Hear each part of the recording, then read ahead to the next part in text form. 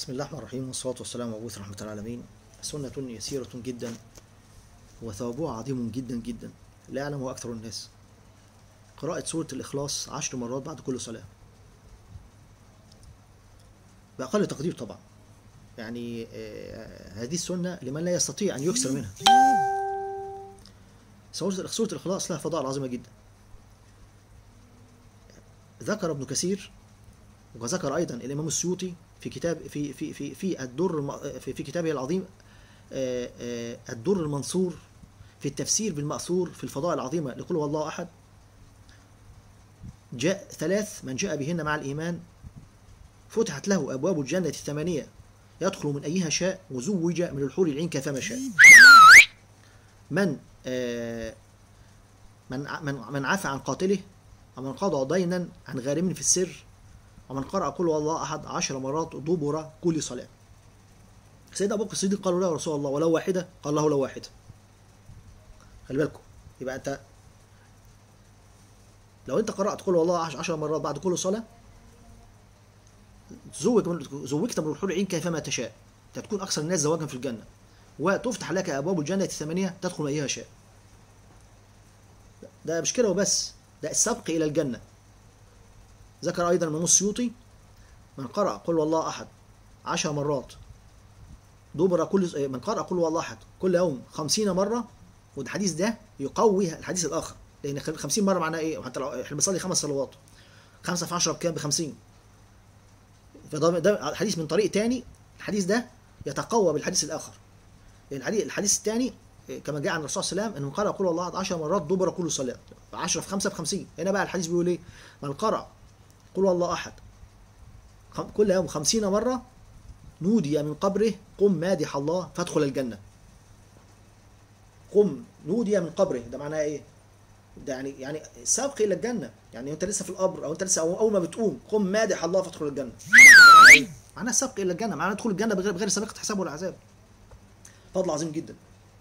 ده مش كده وبس هذا الحديث أيضا يتقوى بالحديث الذي تقبله العلماء بالقبول. وصححه الإمام الألباني من قرأ قل الرسول صلى الله عليه قال من قرأ هو الله أحد عشر مرات. بنى- من قرأ هو الله أحد عشر مرات حتى يختمها بنى الله له قصرا في الجنة. ومن قرأ عشرين مرة بنى الله له قصرين. ومن قرأها ثلاثين مرة بنى الله له ثلاثة قصور. فقال عمر عمر بن الخطاب في رواية وفي رواية أخرى قال أبو بكر أبو بكر الصديق إذا نكسر يا رسول الله. الله أكثر قال الله قال قال الرسول صلى الله عليه وسلم الله أكثر وأطيب. يعني مهما تكسر. لذلك أنا أنا أخاطب الآن ضعاف الهمة. الانسان ما عندوش قدرة على العمل الصالح اللي عنده همته ضعيفة اللي يعني وقته مشغول مش قادر يكسر يبقى على الأقل قوي قوي قوي تقرأ 10 مرات بعد كل صلاة. طبعا في ناس بتقرأها 500 مرة و1000 مرة في اليوم لكن على الأقل كما قال العلماء ما لا ما لا يترك كل ما لا يؤخذ كله لا يترك كله. ما انتش قادر يعني ما انتش قادر تاخد الخير كله ما تسيبوش كله خد خد خد ما تستطيع. فعلى الأقل 10 مرات. يبقى المناقب العظيمة إيه اللي أنت هتحصيها من هذا من, من, هذا من هذا من هذه السنة اليسيرة؟ اولا هتبني خمسة قصور في الجنة. خمس قصور لأن بعد كل مرة 10 مرات لأن 10 مرات طبعا الحديث اللي بقوله لكم ده حديث مرسل آه، ذكره سعيد بن المسيب وهو من أولاد الصحابة وهو من كبار التابعين ومن أولاد الصحابة. لذلك لذلك صححه الإمام الألباني وهو حديث صحيح له بإذن الله وله وكل ما قلناه قبل ذلك تقويه لأن باذن 10 مرات فيها سر. يبقى مرة قال الرسول صلى الله عليه وسلم بيبني قصر ومرة قال بتخط بتخط تسمع منادي من مناديا من قبرك يناديك يدخل الجنة ومرة ثالثه تكون من أكثر الناس زواجا وتزوج بالحور العين كيفما شئت. يبقى المنقبة الأولى هتبني خمس قصور لأن كل كل كل مرة كل 10 بعد كل صلاة بقصر بقصر. القصر في الجنة مساحته عشرات الملايين من الأميال. هقول لكم الدليل من السنة. قال يعني قال الرسول صلى الله عليه وسلم في تفسير قول الله سبحانه وتعالى حور مقصورات في القيام. قال الخيمة في الجنة أو أو الغرفة في الجنة ستون ميلا في ستين ميلا وارتفاعها كما بين السماء والأرض. 60 ميل في 60 ميل يعني 3600 ميل مربع. وقال عليه الصلاة والسلام أيضا القصر في الجنة أو قصر النبي والشهيد في الجنة به 5000 غرفة.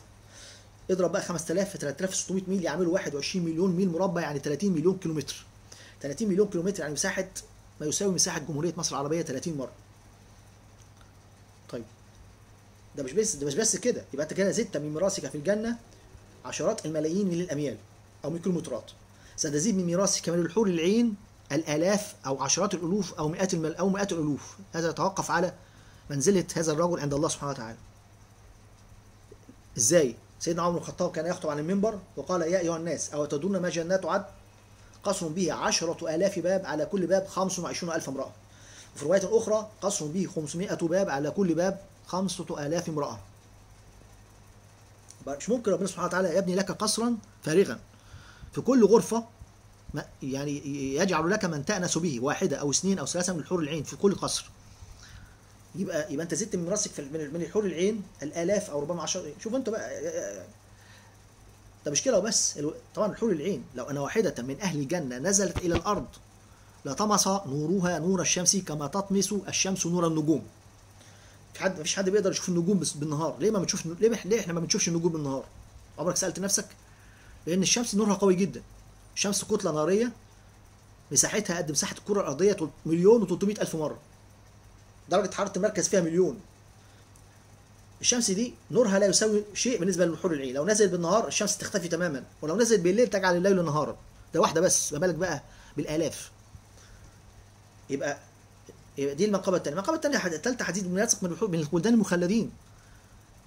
ما لا يحصى. الرسول صلى الله عليه وسلم قال في الحديث القصر في الجنة فيه من عشرة آلاف إلى سبعين ألف من الولدان المخلدين.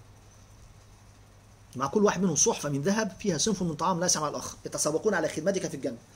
يبقى آه، بنيت خمس قصور يبقى اضرب خمسة في سبع- في 70000 350 ألف خادم في من من الولدان المخلدين. مع كل واحد منهم صحفة من ذهب فيها صنف من طعام لا يسمع الآخر يبقى يبقى, يبقى, دي أول حاجة. زدت من راسك في الجنة عشرات الملايين من راسك من من الحور العين من الولدان المخلدين تكون أكثر الناس زواجا تفتح لك أبواب الجنة الثمانية تدخل أيها شاء ودول أصحاب المنازل العالية.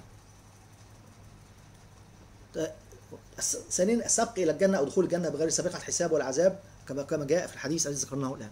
طبعا سنة عظيمة جدا جدا. لا يضيعها إنسان عاقل. مش ممكن إنسان عاقل يعرف هذا الثواب يضيع هذا الثواب. يعني قراءة قول الله 11 مرات بعد كل صلاة تاخد منك إيه؟ فأنا هكتب لكم الأحاديث دي تحت فيديو سخون شروع نشر هذا العلم في ثواب عظيم. العلم علما في الاجر عن يوم القيامة. لا ذات من جنش تشوش تفعيل الجرس واشتراك في القناه لسبب كل جديد وتساعدون على السنة قولوا قولي هذا أستغفر الله لي ولكم.